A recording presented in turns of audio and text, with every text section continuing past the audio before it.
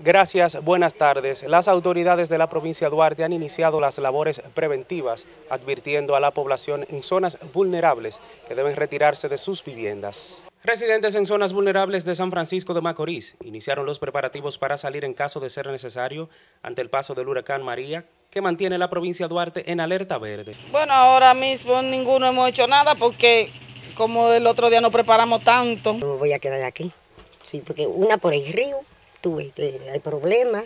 Los moradores del barrio Azul aseguran que la solución a la problemática es sacarlos de esta zona. No que nos saquen porque desde 2007 no están sacando y no hacen nada. En tanto que las autoridades señalan que los albergues se encuentran preparados, aunque la cantidad de los mismos aumentó. El que no quiera irse a los refugios, entonces lamentablemente, pero el ejército y la policía y la defensa civil vamos a actuar, porque vamos a sacar por la fuerza. Hay refugios más adicionales, como centros comunales que no se abrieron en aquella ocasión, ahora están identificados. En vez de ser 48 refugios en el casco urbano, van a ser 57.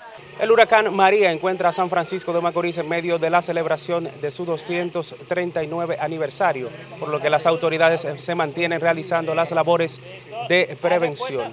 Es todo lo que tenemos por el momento desde San Francisco de Macorís en la provincia de Duarte. Ahora retorno contigo al set de noticias.